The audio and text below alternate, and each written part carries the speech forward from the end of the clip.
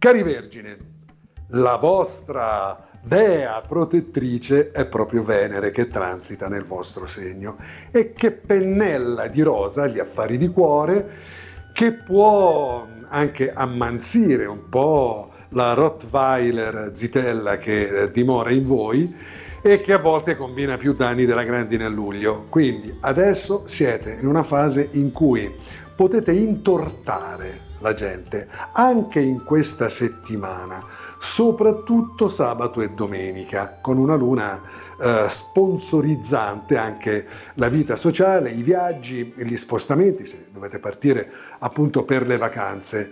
È una settimana che, certo, qualche stress ve lo può dare, visto che c'è Mercurio nella vostra casa dodicesima astrologica, però tutto sommato si può superare. Sorridete, la vita vi sorriderà, anche dal punto di vista suino, vedrete.